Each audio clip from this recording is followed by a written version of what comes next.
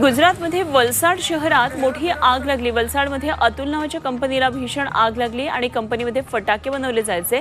त्यामुळे आगीनं आणखी भीषण रूप धारण केलं. जवळपास दहा मजली उंच आगीचे धुराचे लोळ हवेमध्ये पसरत होते. अग्निशमन दलाच्या तब्बल पन्नास गाड्या घटनास्थळी दाखल झाल्या आणि प्राथमिक माहितीनुसार या आगीमध्ये एकाचा मृत्यूही झालाय